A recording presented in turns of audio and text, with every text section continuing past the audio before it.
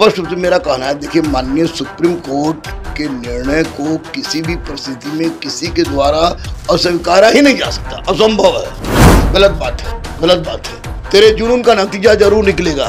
इस हिस्सा समंदर से नूर निकलेगा। सिर्फ़ चिराग जलाए रखना। जो लड़का डीएलएड है, जो लड़का बीएड है, वो बेरोजगार कभी बैठेगा।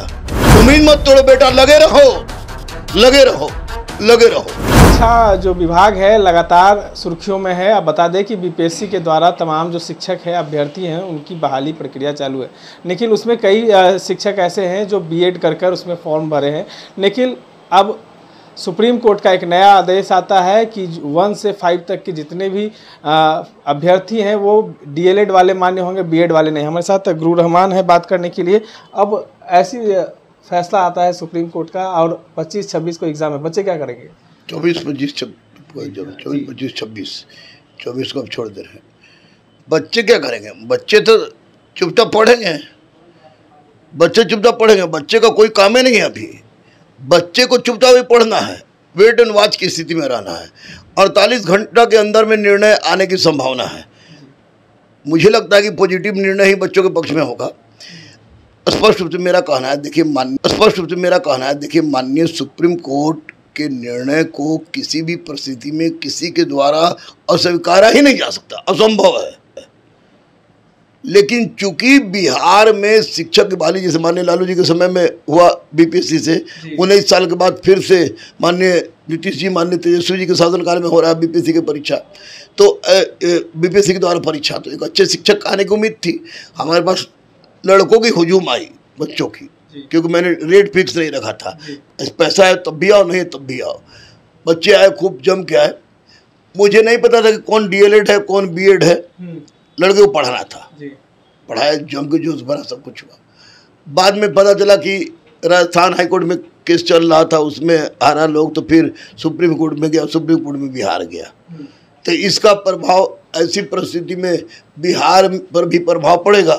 और और बिहार में जब प्रभाव पड़ेगा तो निश्चित रूप से पाँच साल से बेचारे जो बच्चे शिक्षक बनने की तमन्ना लेकर कहाँ से यहाँ तक पहुँच गए उनकी परीक्षा को तत्काल 10 से 15 दिन बढ़ा दिया जाए और माननीय मुख्यमंत्री बिहार माननीय उप मुख्यमंत्री बिहार दोनों के जोश जुनून पर मुझे कोई संदेह नहीं है।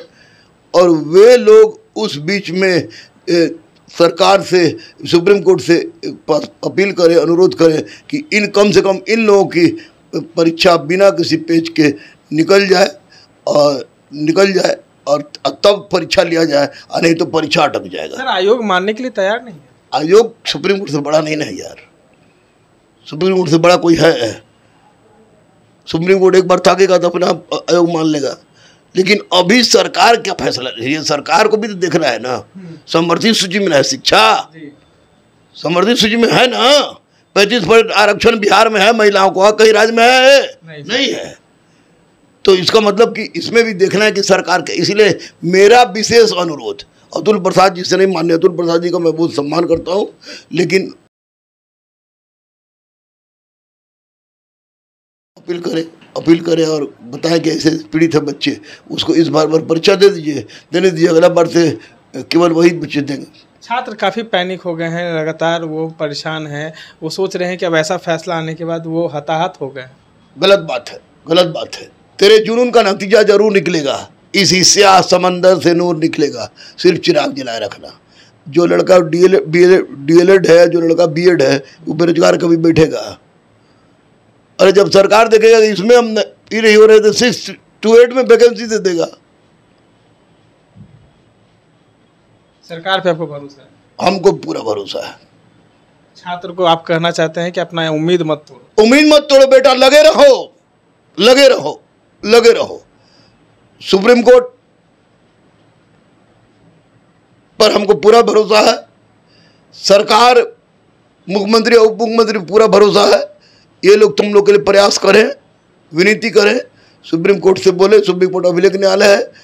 आपके पक्ष में फैसला आ सकता है, नहीं तो फिर परीक्षा होने के बाद फिर लगड़ जाएगा तो ना डीएलएड वाले का होगा, ना बीएड वाले का होगा, दो तीन साल लटका रहेगा। इसलिए फैसला हो जाए, तब परीक्षा एकदम टक टक हो जाए, बेचारे को ज्वाइन तो कराते ये थे हमारे साथ गुरु रहमान जिन्होंने बच्चों को साफ़ साफ़ कहा है कि उम्मीद मत तोड़िए, कहीं ना कहीं सरकार जो है इस पर जल्द फैसला लेगी और आप अपनी तैयारी में लगे रहें। इस तरह के तमाम अपडेट्स के लिए बने रहें एन के साथ। धन्यवाद।